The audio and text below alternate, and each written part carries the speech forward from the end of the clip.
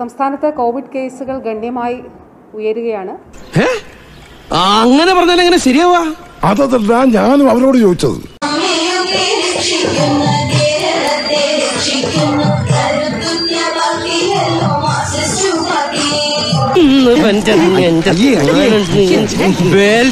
അടി നല്ല കാര്യങ്ങൾ പറഞ്ഞും പഠിപ്പിച്ചു കൊടുക്കട്ടെ നിങ്ങളെ പോലുള്ളവർ ഇങ്ങനെയൊക്കെ ചെയ്യുന്നത് മോശ മോശ.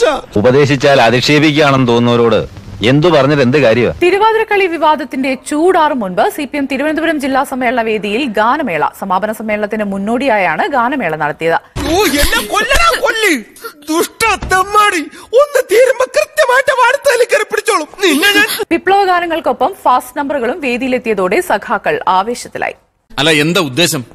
ഈ നാടകത്തിന് പേർപ്പസ് വേണമല്ലോ? നിങ്ങൾക്ക് ഇതിലും ഭേദം വല്ല കല്ല് കുത്താൻ പാമ്പല്ലേ കാശ് കൊടുത്ത് കടിക്കുന്ന പട്ടി വാങ്ങിക്കുന്ന പോലെയാണല്ലോ നിങ്ങൾക്ക് ശമ്പളം തരുന്നത്.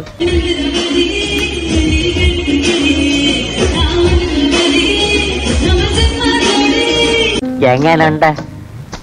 നിന്റെ തലയ്ക്ക് വല്ല അസുഖമുണ്ടോ? ഇല്ല. പിന്നെ എന്താ അതിന്റെ അർത്ഥം? പൂച്ചക്ക് വീണ വായന എലിക്ക് പ്രാണവേദന എന്ന് പറഞ്ഞതുപോലെയായത് ഭയങ്കര ചതിയായിപ്പോയി.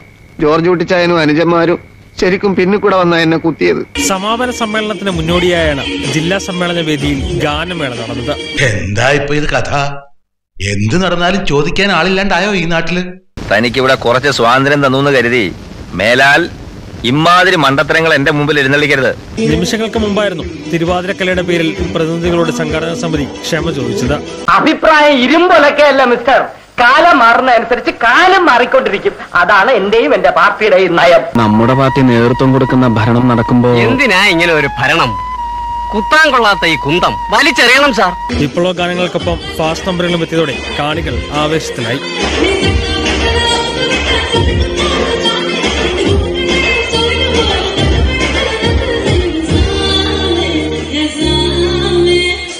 അമ്മയ്ക്ക് പ്രാണവേദന മകക്ക് വീണവായന.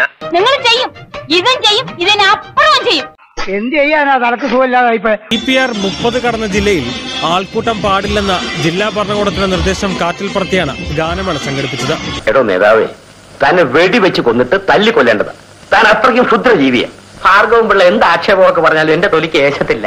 എന്റെ പാർട്ടിയുടെ ചിഹ്നം എന്താണെന്ന് അറിയാവോ കാണ്ടാമൃഗമാ ഇപ്പൊ തന്നെ സ്ഥലം വിട്ടോണം. മേലെ അവിടെ കണ്ടുപോകരുത്. ലാസ്റ്റ് ബസ് ഇപ്പൊ പോയി കാണും. നാളെ നേരം എടുത്ത് ഫസ്റ്റ് വണ്ടിക്ക് ഞാൻ പോകൂല ബ്രേക്ക്ഫാസ്റ്റ് കഴിച്ചിട്ടേ പോവും. അതിന് സാധുവിനെ കുറ്റം പറയരുതേ.